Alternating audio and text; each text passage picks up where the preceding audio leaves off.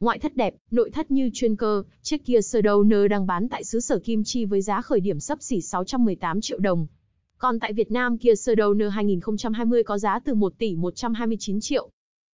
Thế hệ Sedona hay còn gọi là Carnival thứ 4 được Kia công bố thông số chi tiết đồng thời cho phép khách hàng đặt mua trước đã ngay lập tức tạo nên tiếng vang khi thiết lập kỷ lục thu hút 20.000 đơn hàng chỉ trong vỏn vẹn 2 tiếng mở bán. Sau thành công bước đầu, sau 2 tháng ra mắt, báo cáo ghi nhận có tới 12.093 chiếc Sedona 2021 đã tới tay khách hàng trong tháng 10, tăng 19,4% so với tháng 9. Doanh số tăng đột ngột giúp cho mẫu xe vượt mặt Hyundai Grand Du, vốn là mẫu xe bán chạy nhất tại Hàn Quốc trước đó.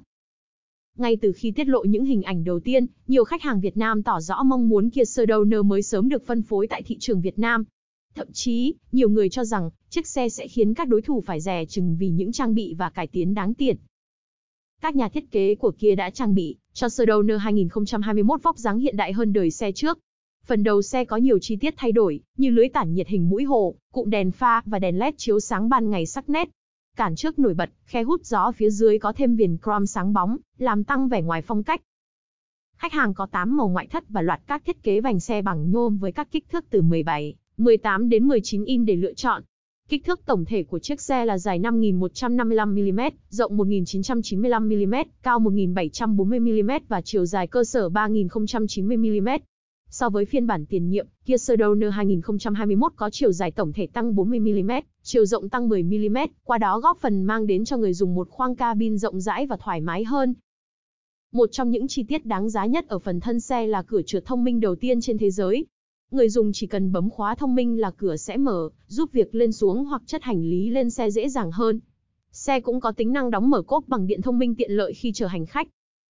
Về nội thất, chiếc Kia mới được bổ sung chất liệu bọc da cao cấp, Bề mặt cabin phủ kim loại kết hợp các hiệu ứng sa tanh khiến khoang lái sang trọng. Tùy theo phiên bản, ghế trên xe sẽ được bọc napa hoặc vải đen. Trung tâm khoang lái là màn hình kép 12.3 inch cho đồng hồ sau tay lái và màn hình giải trí. Những trang bị này giúp người dùng liên tưởng đến chiếc S-Class hay E-Class của Mercedes. Ở phiên bản 7 chỗ, điểm nhấn trên Sedona là ghế thương gia có thể ngả lưng cho người ngồi ở hàng thứ hai, với phần tựa lưng, tay và chân có thể điều chỉnh. Khi gặp lại tất cả các hàng ghế sau, không gian chứa đồ của xe lên tới 2.905 lít. Về tiện nghi, Kia Sedona phiên bản Hàn có tính năng nhận diện giọng nói cho hàng ghế sau, chia sẻ vị trí xe hay dàn âm thanh cao cấp keo. Tại thị trường quê nhà Hàn Quốc, Kia cung cấp cho Sedona 2021 hai tùy chọn động cơ gồm diesel 2.2 lít và xăng 3.5 lít V6. Các trang bị an toàn trên xe được các chuyên gia đánh giá cao bao gồm hỗ trợ tránh va chạm phía trước, hỗ trợ tránh va chạm tại điểm mù, hỗ trợ lái xe trên đường cao tốc, hỗ trợ giám sát điểm mù, tránh va chạm khi có phương tiện cắt ngang phía sau, giữ làn hay cảnh báo tài xế mất tập trung. Tại Hàn Quốc, giá khởi điểm của chiếc Kia Sedona sắp xỉ từ 618 triệu. Xe cộ,